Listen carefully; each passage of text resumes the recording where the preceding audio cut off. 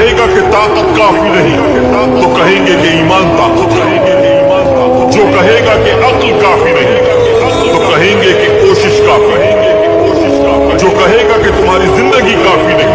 तो कहेंगे कि तारीख काफ़ी कहेंगे कि तारीख काफ़ी कोई कहे कि ये जहान तुम्हारा नहीं तो कहेंगे